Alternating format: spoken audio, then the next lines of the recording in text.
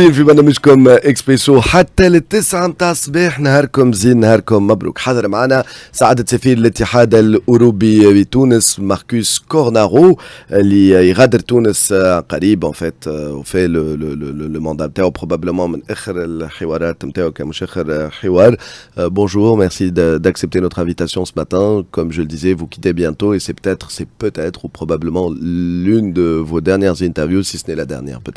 Euh, en tout cas, malheureusement pour le, le, la, finition du terme de mandat, mais en tout cas, Mabrouk est enchanté d'être là, Ncharfou, et espérez-nous bravo écouteurs. Et toujours un plaisir d'être ici avec Express FM, euh, qui aussi euh, partager mon parcours de, depuis les derniers quatre ans. Donc j'ai un bon souvenir à maintes interviews qu'on a pu faire ensemble sur beaucoup de thèmes très, euh, très portants. Merci. Et, justement, bah, on va essayer, hein, c'est pas, pas chose facile de revenir peut-être sur les, les, les, les, les, les grands moments de, de, de, de ces quatre années. Euh, euh, peut-être parler euh, projet déjà. Euh, sur ces quatre années, quels sont peut-être selon vous les projets phares que vous avez menés, sur lesquels vous avez travaillé? Euh, très volontiers. Et peut-être j'enchaîne même avec votre euh, euh, mon prédécesseur ici sur la sur, l'interview en fait. Ah oui, Ben, ben Dabesh de la HK. Exactement, Dabesh qui a aussi parlé des, des, avancées, pas seulement sur sur tout ce qui est l'économie verte, mais plus généralement le dernier grand événement qu'on a pu faire ensemble, qui a vraiment bah, marqué marqué un pilier fort de notre coopération. Euh, à travers les années, renforcé certainement euh, pendant mon, mandat. Et ça, c'était autour de la conférence d'investissement qu'on a pu faire ensemble avec la, la, FIPA, avec euh, plus de, de, de 1000 participants avec une, une, bonne centaine d'entreprises étrangères qui se sont engagées, une multiple euh, arrêt de, de, thèmes euh, qu'on a pu, faire et aussi une bonne, bonne image, je peux dire, de, la Tunisie en se remettant en position vis-à-vis -vis l'investissement. Donc euh, un appel à l'extérieur que la Tunisie reste ouverte euh, pour des, engagements sincères, pour des engagements euh, fermes. Dans les marges, on a pu quand même signer pas mal euh, d'accords. On a remis en relief tout ce qu'on est en train de faire actuellement autour de l'énergie verte Elmed. Euh, Monsieur Dabesh on en a parlé. Euh, on a pu boucler un grand programme de soutien sur le, les petites et moyennes entreprises, quand même encore un, montant de 250 millions d'euros d'appui direct euh, à ce secteur. Et aussi, on a pu euh, signer un mémorandum d'entente euh, sur le futur développement de tout ce qui est énergétique. Dans les marges aussi, la Banque européenne d'investissement, qui nous soutient dans beaucoup de ces, ces, choses, a aussi signé un, un contrat pour euh, une route pour le désenclavement de, de Casserine. Donc ça c'est récent, mais je pense que c'est un bon exemple euh, de où est-ce que nous en sommes. Euh, sur un des piliers forts du, euh, du partenariat, c'est-à-dire euh, l'économie. Si je viens en arrière, toujours avec Express FM, je me souviens de, de l'interview qu'on a pu faire il n'y a pas trop longtemps, en marquant quand même 20 ans de coopération dans la, dans la recherche et, et le, le, scientifique. vous vous souvenez, on a Tout à fait, le bilan. À la Cité de la Culture. Voilà, et jusqu'à quel point aussi la Tunisie euh, reste toujours en premier, première ligne de beaucoup, beaucoup de, de programmes de, de, recherche. Et là aussi, je, si je regarde en relief, les dernières années, on a pu faire quand même des, des avancées et d'accrocher cela euh, davantage. La Tunisie reste un, euh, juste une parenthèse ici, la Tunisie me semble reste le premier partenaire euh, de, de l'Union Européenne, enfin en matière de, d'échanges de, économiques, etc. Non, je ne sais pas, je voulais vérifier cette information. Tout à fait, de loin, de loin. En fait, euh, les, les, grands chiffres, c'est toujours 80% de votre investissement euh, externe et de provenance de, l'Union Européenne. Si je regarde les chiffres en termes de présence euh, de, de compagnies externes, donc on a plus que euh, 3000, 3000 compagnies euh, Européenne. européennes. Et malgré, malgré une conjoncture difficile politiquement, économiquement dans les dernières années, euh, c'est un chiffre qui s'est augmenté de 10%. Un très bon chiffre tout avec, c'est aussi tous les emplois euh, directs qui, qui, viennent avec cela. Également, ces chiffres se sont même euh, agrandis de 15% pendant la période des, euh, des 4 ans. -hmm. J'en profite quand même qu'il y a encore euh, du boulot à faire. Euh, donc on continue d'être, de rester ouvert et de passer le message euh, qu'en termes de, de, régime, régime commerciaux, régime investissement, l'Union européenne reste, reste ouverte euh, pour, pour s'engager, réfléchir avec, avec la Tunisie comment encore améliorer moderniser le cadre actuel en cours, voire d'améliorer le, le, système soit autour des investissements. il y a toujours des dossiers ouverts dans, dans l'agriculture. on n'a pas encore bien réglé euh, l'échange des, services. Euh, et là aussi, dans les marges de la conférence d'investissement, euh, mes collègues qui sont venus du siège ont, on pu avoir des bonnes, bonnes discussions et des très bonnes avancées avec les ministères principaux, principaux concernés, donc le ministère du Commerce et le ministère de la, de la Planification. Là, j'étais plus ambitieux quand je suis arrivé, j'avoue. J'avais pensé que pendant mon mandat de 4 ans, j'aurais pu avancer et déjà d'être un peu plus loin de ce qui c'est aussi le type de modernisation de nos, euh, nos cadres euh, d'échange. Mais quand même, je laisse encore un dernier chiffre peut-être aux écouteurs, que quand même, malgré que c'est un ancien cadre, c'est quand même un cadre qui, qui fonctionne très bien pour la, pour la Tunisie si je regarde uniquement un chiffre, que la Tunisie a un excédent commercial avec l'Union européenne, déjà depuis les dernières années, un excédent assez important, plus que 2 milliards euh, d'euros d'excédent en termes d'échange euh, général. Et c'est, je pense qu'on est le seul grand partenaire pour pouvoir dire qu'on a un régime qui fonctionne euh, plus ou moins en faveur de l'économie de tunisienne plutôt que, que l'inverse. Il y, a, pas mal d'autres projets financés. Il y a le pont de Bizerte, on en a parlé euh, récemment. Il y, a, vraiment des grands projets d'infrastructure. Lors de, le, lors du TIF, euh, le Tunisia Investment Forum, vous avez euh, également annoncé, vous en parliez tout à l'heure, par exemple Casrine, etc. Donc toujours de l'infrastructure assez importante d'ailleurs. en quoi, comment vous voyez l'avenir euh, de la coopération économique Union européenne-Tunisie. Je ne parle pas des relations maintenant d'une manière générale, où euh, on, y viendra d'ailleurs, mais la coopération économique entre l'Union européenne et la Tunisie. Euh, Monsieur Cornaro, je rappelle,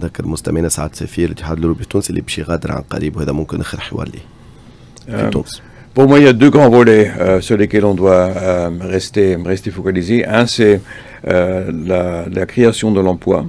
Euh, et de capter surtout les talents jeunes tunisiens, tunisiennes, euh, autour de ce qu'on peut faire de, de tissu sur le. bon, on est ici au Startup Village, donc euh, les start-up, start-upers, les start-upeuses, mais plus généralement capter l'innovation et le, et le développement. Là-dessus, il y a des très bons programmes, des projets. Innovis, c'est un, un, terme qui est en temps mmh. connu. on a une centaine de, de jeunes compagnies qu'on euh, qu'on accompagne pour améliorer leur capacité d'exportation autour des brevets, autour de ce, tous ceux qui, euh, qui ont. Euh, et aussi, on a un système qui essaie d'améliorer votre système bancaire qui malheureusement fait un peu défaut pour ce type de clientèle donc accès au financement et des produits de ce type. Et sur ça, c'est une filière où j'espère qu'on restera euh, bien engagé avec toute une série de, partenaires euh, euh, tunisiens. Donc ça, c'est pour tous ceux qui... De quelle manière vous resterez engagé? Sur ça Bon, financièrement, il y a des, il y a, des financements, il y a, des, instruments de financement, soit directs, il y a des accompagnements d'assistance technique. On a des partenaires, par exemple, avec la, Banque européenne de reconstruction et développement, un programme où on suit à, travers, à travers les autres opérateurs euh, de près des, euh, des, compagnies avec des, euh, des initiatives. Donc, création d'emplois, donc des nouvelles entrants.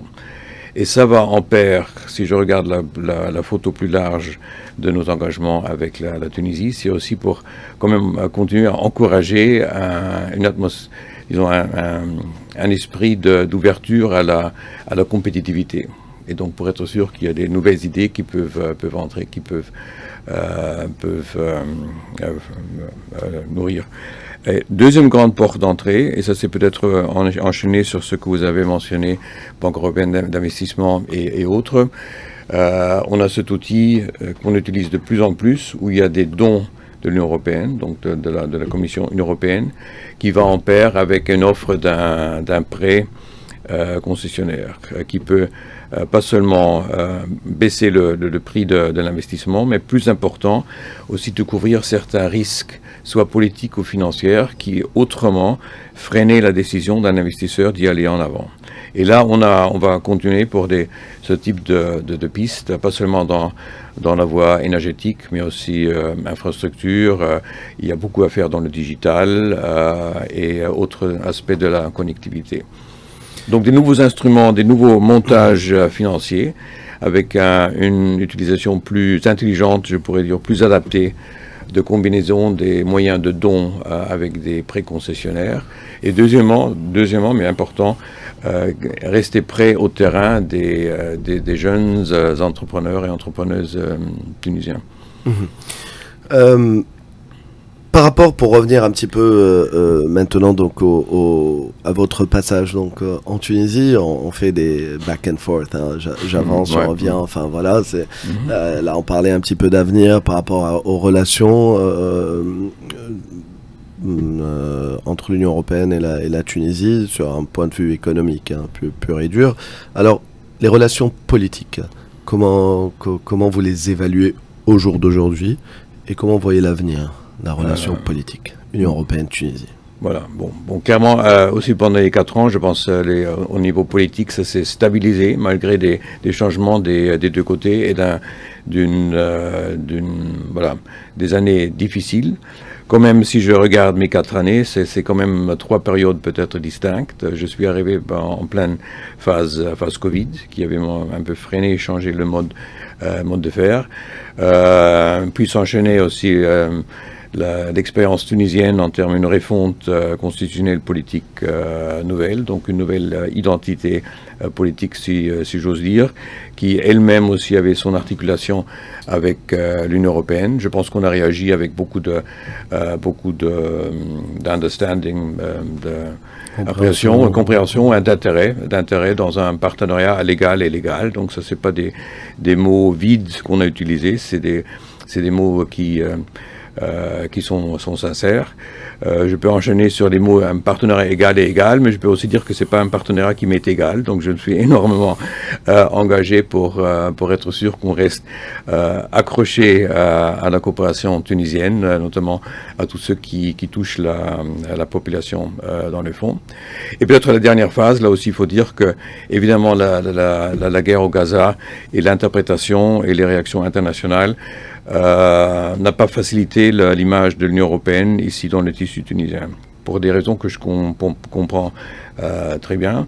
Là, mon travail était aussi pour, euh, pour euh, faire relief aussi à efforts plus récents, mais crédibles de l'Union européenne, notamment de M. Borrell, mais beaucoup d'autres acteurs, de rester engagés avec les pays maghrébins, avec le tissu arabe, pour, pour en sortir avec une, une solution meilleure. Mais c'est vrai que ça, ça a un peu alourdi, alourdi l'image et le et la, la, manière dont on est perçu comme, comme acteur ici dans le, euh, dans le, dans le pays. Donc j'en profite pour, pour, euh, pour aussi confirmer à vos, à vos, vos écouteurs que, que l'Union européenne, certainement, et, euh, comme institution, mais aussi comme, euh, comme acteur, reste, reste très, euh, très euh, là-dessus.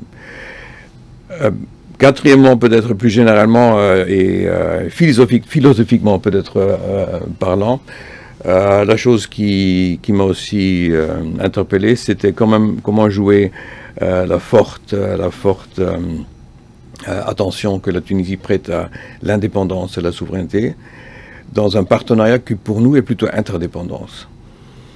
Donc il y a un peu c'est assez naturel qu'on est, qu'on est engagé, qu'on reste prêt, qu'on est, qu'on est concerné, euh, qu'on est présent, mais ça c'est pas quelque chose que nous on aperçoit comme ingérence, au contraire, ça fait uniquement une, affirmation d'un partenaire.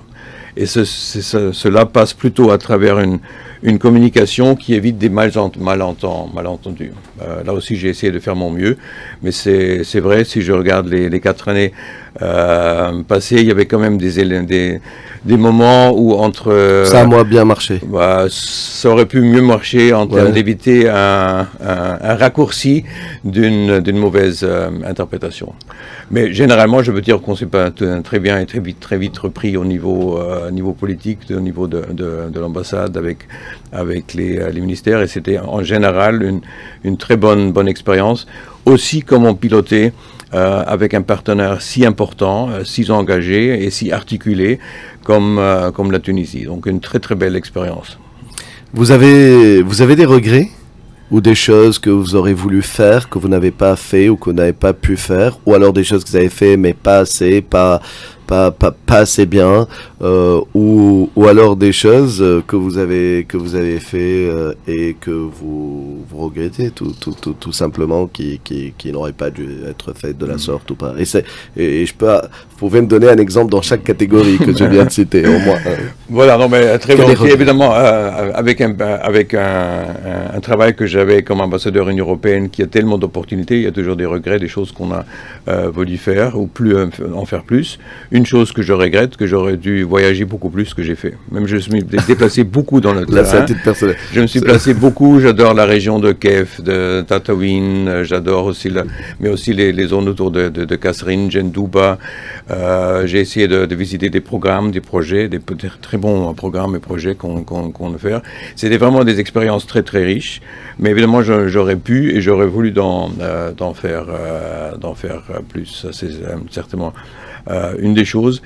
La deuxième chose, et là je reviens un peu sur le, le, thème euh, économique, comme je disais, j'avais j'avais euh, l'ambition et même le mandat d'avancer davantage nos nos accords actuels. Donc mmh, mmh. dans le jargon, c'est c'est l'accord d'association. J'ai hérité des malentendus autour de Aleka. mais avec un mandat, donc ALECA, c'est la, la, proposition d'un accord de libre-échange qui était mal compris, peut-être mal négocié des, deux côtés, mais qui restait encore une offre euh, ouverte, mais aussi avec euh, l'intention de rester à l'écoute de la Tunisie, comment le, moderniser.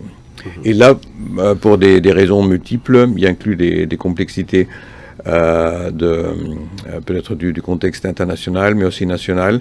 on n'a on pas pu suffisamment avancé, sauf comme je viens de dire qu'autour de la conférence euh, d'investissement, au moins les, collègues qui sont venus de la, de la DG Commerce euh, ont eu des très bons entretiens et qui ont pu euh, partager avec des, dirigeants tunisiens des idées comment en faire et de quel type de, de quel type d'autres euh, euh, arrangements qu'on a en place, soit avec le Maroc ou euh, avec Angola, avec des autres pays, mhm. de s'inspirer là-dessus. Donc ça c'est quelque chose que je laisserai à mon, mon successeur, mais ça c'est vraiment un regret où j'aurais vraiment eu, l'ambition d'en faire plus.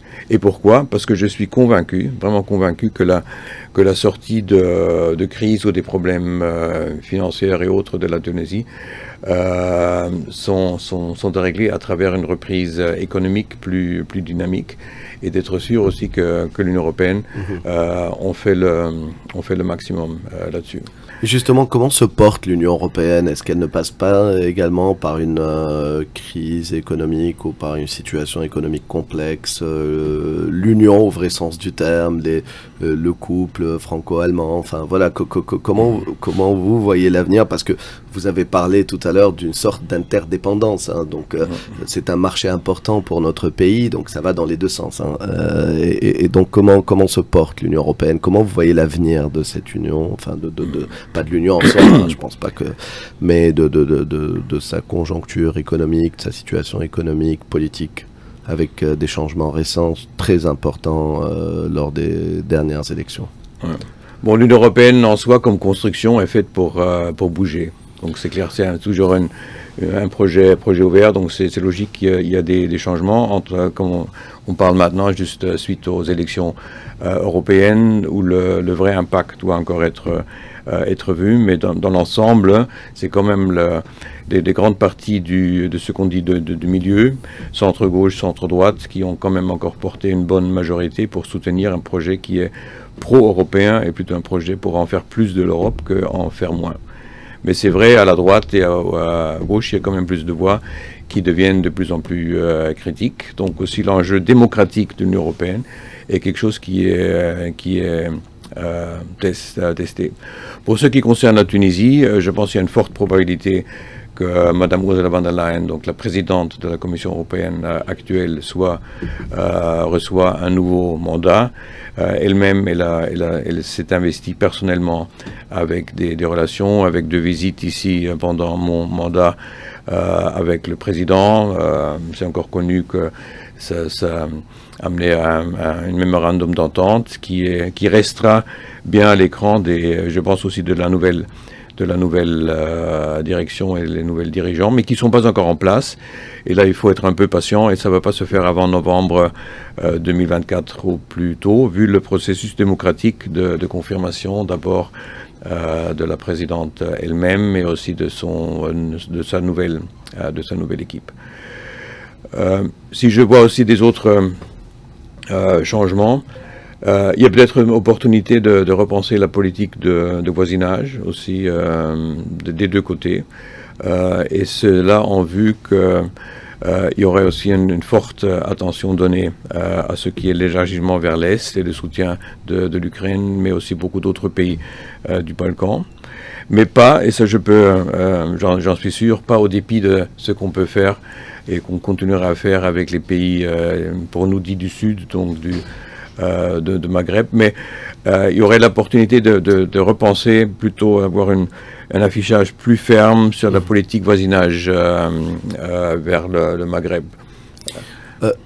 Marcus Cornaro, qu'est-ce qui pourrait, selon vous, selon votre expérience, votre connaissance de votre Union européenne et de notre Tunisie, qu'est-ce qui, s'il y a une chose qui pourrait dynamiser, donner un grand boost aux relations entre l'Union européenne et la Tunisie, quelle pourrait être cette chose? C'est comme si indirectement je vous disais euh, euh, qu'est-ce que vous laissez sur votre bureau pour votre successeur. Donc, euh, hein. Bon, vu que je, parle avec vous, certainement pour moi la communication reste clé. Donc j'espère que le, tissu médiatique reste, restera fort ici en Tunisie. Euh, disponible pour, euh, pour s'engager avec, euh, avec l'Union européenne, avec mon successeur et les autres sur la bonne voie qu'on qu'on a fait. Et là, j'espère vraiment que le, tissu médiatique reste, reste ouvert, reste mhm. pour pouvoir communiquer, pour rester disponible à beaucoup de beaucoup d'audience. S'il y a une chose pour, pour redynamiser, je pense d'en faire plus, et peut-être ça c'est le troisième regret que j'aurais pu citer auparavant, c'est autour de de, la jeunesse et à travers notre coopération de démontrer une, bonne perspective euh, jeunesse à travers l'emploi, mais aussi peut-être l'emploi euh, pour euh, circulaire vers l'Union européenne, mieux structuré, mmh, mmh, mmh. avec des meilleures possibilités de, retour et des, allées et des venir. Et c'est pour ça que je, je dirais qu'il faudra euh, redynamiser le partenariat dit jeunesse euh, et aller au-delà de, des bons programmes déjà, déjà en cours, mais qui ciblent uniquement des, des, euh, des, des, des, compagnies en soi. Donc ça c'est un, ça c'est, je pense une Pourtant avec Youth for Employment, etc. voilà, vous avez beaucoup travaillé sur. Et ça, ça, ça viendra en paire de ce qui est déjà en place, aussi qu'on a pu mettre en place pendant mon mandat, ce qu'on parle le, le, partenariat des talents, mais de revoir le type de formation professionnelle euh, qui, euh, qui, est déjà, euh, qui existe ici dans le pays, avec soutien pas mal de, de, l'Union européenne.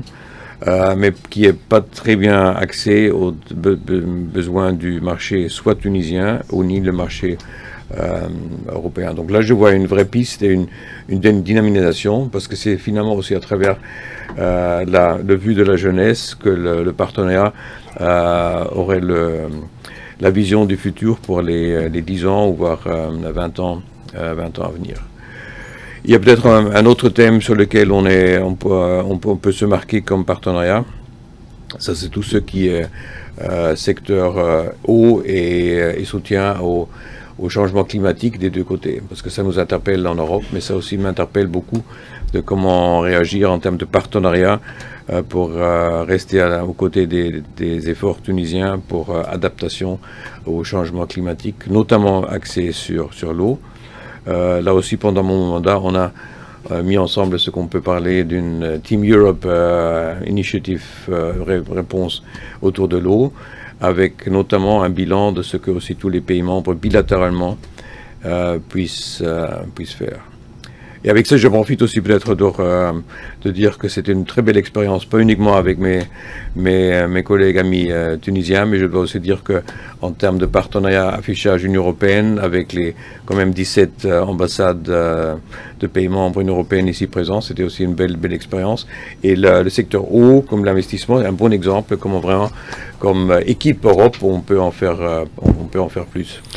Alors, j'allais terminer en vous demandant euh, s'il y a une chose dont vous êtes fier, mais peut-être c'est cette réunion de Team Europe, mais je sais pas, il y a peut-être autre chose. S'il y a une chose dont vous êtes fier sur votre mandat Parce que je vous ai parlé de regrets, de, de, de ce qui n'a pas marché. Bah, parlons, euh, ah oui, en, termes de, en de euh. travail, effectivement, ce type de Team Europe est, d'affichage plus large dans un contexte qui n'est pas évident. Vous avez vraiment d'avoir tenu mmh. une bonne, bon affichage euh, famille une européenne avec du concret euh, pour le pays, donc la valeur ajoutée euh, d'une délégation comme l'Union européenne.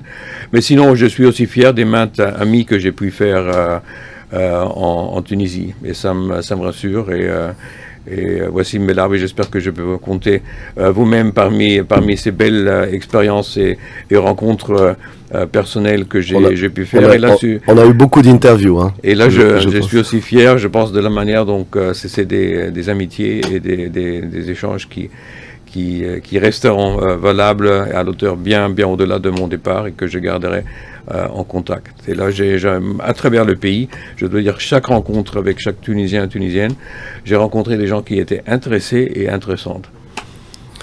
Et euh, sur, euh, sur, sur, sur, ça, euh, on termine cette interview. Peut-être je vous laisse 10 secondes ou 30 secondes si vous avez un message en particulier à, à, à, à, passer aux Tunisiens qui vous écoutent ce matin, à vos collaborateurs ou euh, voilà, je sais pas.